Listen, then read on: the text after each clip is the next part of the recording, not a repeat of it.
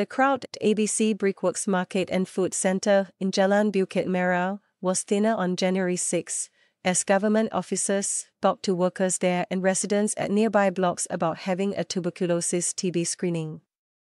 This comes a day after the Ministry of Health MOH announced that mandatory TB screening will be conducted for residents and workers at blocks 1 and 3, Jalan Bukit Merah, ABC Brickworks Market and Food Center, and Thong Kheng Seniors Activity Center at Queenstown.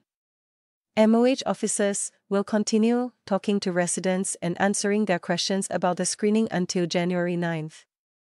The food center seemed fairly busy during lunchtime. But Mr. Danny Lim, who works at a store selling chicken wings, said it was quieter than usual. Mr. Lim told the Straits Times that it was common to see all the tables at the food center occupied during lunchtime on the weekends. But there were empty tables on January 6.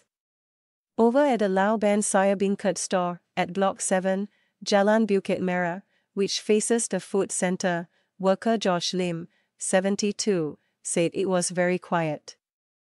He learned about the upcoming TB screening in the news and was eager to go for it, even though he works in a block that is not included in the screening exercise. The store's customers mostly drop by after a trip to the market and food center.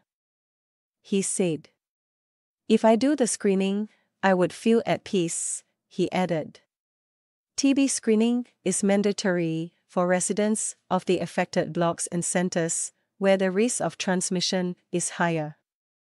MOH is offering voluntary screening for those who are at lower risk, such as former residents and tenants of Blocks 1 and 3.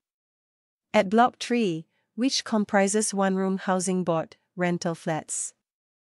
Mr. Mohan Van, who is in his 60s, said he is a regular volunteer delivering free vegetarian food packets from an Indian temple to other residents in his block on weekends.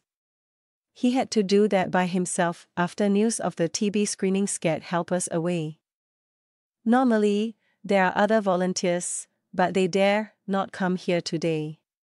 So, I called my bodyguard to watch the food basket while I deliver the food packets, he said, referring to his elderly neighbor beside him. The entire screening exercise aims to mitigate the risk of TB transmission in the area after 10 new cases were detected there between February 2022 and July 2023 and found to be linked to earlier cases in Block 2. Jalan Bukit Merah. MOH conducted on site TB screening from May to August 2022 after a cluster of seven TB cases linked to Block 2 was identified. The ministry said on January 5 that on site TB screening is offered as a precautionary measure to protect residents living in the area by identifying undetected active TB cases and preventing further transmission as far as possible. TB is curable. All 10 new cases found in the area have started treatment and no longer pose any public health risk, MOH said.